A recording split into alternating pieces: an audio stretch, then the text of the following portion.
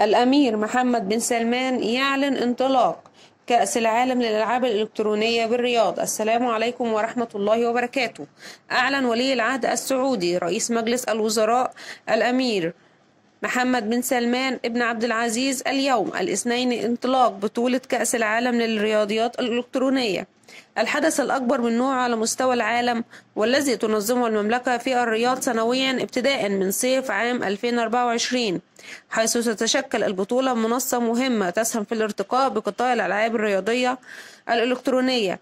الذي يشهد نموا متزايدا وسترسخ مكانة المملكة كواجهة رائدة لأبرز المنافسات الرياضية والعالمية. جاء ذلك خلال مؤتمر الرياضة العالمية الجديد التي تستضيفها المملكة حيث أعلن الأمير محمد بن سلمان إنشاء مؤسسة كأس العالم للرياضيات الإلكترونية وهي مؤسسة غير ربحية. ستتولى تنظيم البطولة وستكون المحرك الذي سينقل هذا القطاع إلى فرصة جديدة من التعاون بين جميع الشركات والجهات المعنية بمنظومة الألعاب الرياضية الإلكترونية للاستفادة من إمكانياتها الحقيقية وتعزيز نمو واستدامة القطاع. والسلام عليكم ورحمة الله وبركاته.